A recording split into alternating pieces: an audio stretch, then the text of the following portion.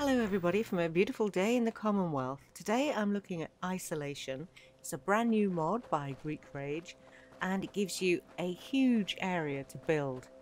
Um, there's really very little here so it's entirely up to you what you do with it. I'll show you where we are on the map. So we're right here. Luckily you can fast travel straight away. There's Spectacle Island and Atom Cat's garage. Okay, so once you get here, got this lovely piece of flat land here right on the top. Plenty of scope for all kinds of fishing activities. And look at that. Wow. Looks like you can walk all the way over to the mainland there. You can certainly get to the castle from here. And this is a big plot. Isn't it great? There's also your very own lighthouse. And he has started you off with some power and water. As you can see down there, there's the water generator. Oh, by the way, this uh, settlement does have a Mirelurk. Popped up as soon as I went down there to try and hook up the water. he loves putting them in. So if you carry on down these steps, we get to a second level down here. Another great big area. There's um, a guard post. There are a few of those around. Beautiful big beach. Oh wow, on a gorgeous day like today, this is a really super place to be. I'm excited about this. I'm excited about what I can do here. I'm, you know, never being a town planner. It's not something I've ever aspired to do or be, but I really love it when mod authors give you a nice flat area of land to work on. I won't take you all the way up to the top of the tower because we'll just get motion sickness either going up and or down. But there's power on the outside of it and a couple of guns so you can hook them up. Look at the size of this place. Oh my goodness, I'm going to eat up my settlement budget in like no time. I, I just know it. Beautiful. Also down on the beach you'll find a shack and in that is your workshop. And from what I've been able to tell, I've had the workshop open as I've been running around and no issues at all with being able to build all over this place. As you can see there's some food here too. And no unnecessary spiky bits of grass or, you know, brambles and weeds and stuff that you always have to get rid of. So there's the castle over there in the distance and we can get to that. And there's like a little security booth here. Also has a couple of searchlights. And there's power down here too. Bed for your security guard. And a gate and so you can just literally just walk over there to the castle if you want to. Handy. And then the shack. Wow, it's getting super foggy. The shack with the workbench in it is down here. So you could turn this into anything your heart's desire, couldn't you? You could have it as a beach resort. I mean, you could just go mad with it. Fantastic. And power there too. So I'll show you the statistics as it is at the moment. Okay, we've got 50 food, 100 water, 400 power, 40 defense and one bed. So yeah, I would love to know what you're going to do with this if you download it, if you have already. And also let me know if you have worked on it, what you did. Because, ah, like I say, there's a lot of space here.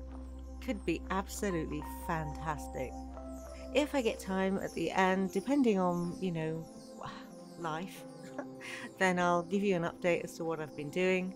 Uh, but for now, I'll leave you with that very foggy view called at the end of this wee video and say thanks so much for watching and take care and stay safe everybody. Okay, so very quickly, just to show you what I've done so far with this place, we're down at the beach. I'm sitting on one of these like mooring things. They are fab, aren't they? They're from a mod, I think it's called Beach Workshop. I'll leave you the link for it. You get all sorts of beachy things, like these chairs, Uh, these life preserver things, in case anybody's in trouble, that's a lifeguard station. And uh, yeah, so I just thought, what would I like to see down at the beach? So why not have a bandstand? People can come down here, uh, listen to a band, have a picnic, soak up some rays, get a drink from the bar. it's so cool. So that mod also adds some um, palm trees, three different types. Uh, so the darker ones that you're seeing are from that. All the others, the more colourful bright green ones, are from Mentha's more colourful compilation, I think it's called. Uh, my life's dream would be if these umbrellas were not tatty pre, you know, post-war, but were pre-war perfection. But never mind, this is what we have. So I thought a little boardwalk, some conveniences, some showers for folks. So, you know, when you get in back to land from the sea, you can have a shower, go to the loo, wash up in general. And it's a nice walk down the seafront. I'm very happy with this, I really am. Oh, that mod also adds this particular lifeguard station thingy. I haven't put anything in it yet, no chairs or anything, it's just an empty but it's kind of like a it's like a hut type of thing I wasn't actually sure which way round to put it but this is what I decided on uh, yeah and then going up the hill after a weary day at the beach you come home exhausted and here are the houses so I just put a few in I haven't I was I think I'll probably get rid of that it's pretty ugly and yeah, I haven't finished decorating these yet. Put in a bit more food over here. Hey, I found a lawnmower. Cool. I just, I don't know what it is. I love those things. They're just, I want one in real life that looks exactly like that. And then a pond. And actually, down here, just on this little spur, I put in a tiny pond there too. You can't really see it from here, but it kind of looks like rock pools. It reminds me of when I was a kid and we used to go and stay with my dad's family in Guernsey. And I used to be fascinated by all the little crabs and things that used to accumulate. Haven't done much anything at all really around the lighthouse. I'm a bit frightened that Merlike, Mer, bleh, can't, speak, that Mirelurks come back. It's been a few days actually since I've done a video, so it may not seem like it to you because I pre-filmed a few, but I am tripping over my tongue something terrible today. Alright, so out of the housing district, if you fancy a snack, there's a cafe. And so donuts and coffee and all that stuff. This Slocum Joe's is really very cool, I love it. And then on a Sunday morning, Wow, my ferns are floating. I need to bring them back down to earth. On a Sunday morning, traipsing up the hill to church. And this is the first time I've built the church. I absolutely love this structure so much. It comes in all sorts of different colours. It's by the same guy, that, Hoser, that did the um, Easy Home Builders. I'll leave you the link for this too. Sadly, there's no bell in the belfry. Shame. But uh, because there are no stained glass windows, I thought we'd have stained glass lights instead. And we've got these, these are Witcher cushions from the It's Furniture mod. Speaking of Witcher, oh my goodness, have you just seen the second series? Isn't it amazing? I am loving it. It's quite hard to follow, uh, but yeah, I digress. So there's an organ that comes with this, super cool. And there's your hymn books. And I thought it would be nice to put a pretty floral arrangement out the front.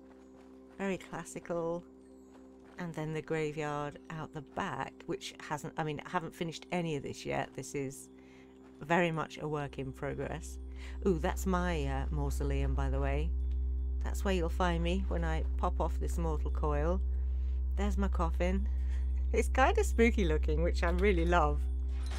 I tried to make it look a bit more, um, you know, dark and gothic type of thing. So I, I just need some mist. I need to find a way of adding some mist. And bats flying out. oh, my imagination, honestly. It goes places sometimes. Alright, that's it. That's what I've done so far. I will leave you with that colourful picture call at the end of this wee video. Thank you as always for watching. Uh, please do let me know if you've downloaded it, what you've done with it, and uh, I will see you soon for the next. Take care and stay safe, everybody.